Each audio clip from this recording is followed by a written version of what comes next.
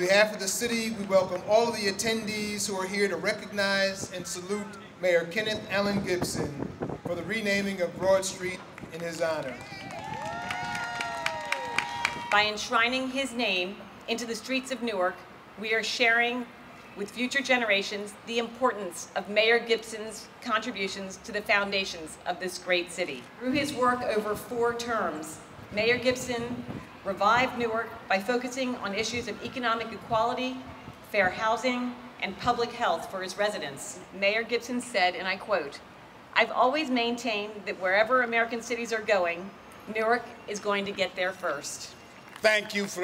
Let's thank Mayor Ras Baraka for having the courage to honor him on Broad Street. Broad Street, which has always been a part of Newark's history, always been the main thoroughfare in the state of New Jersey, will now be named after a man who gave so much to the city of Newark. By changing the name from Broad Street to Kenneth Allen Gibson Boulevard means that we made a turn in history, that we've moved forward in history. We have the first African American mayor that just didn't represent African Americans, but represented the entire city of Newark and gave his life so that all Newarkers can benefit from the progress of this city.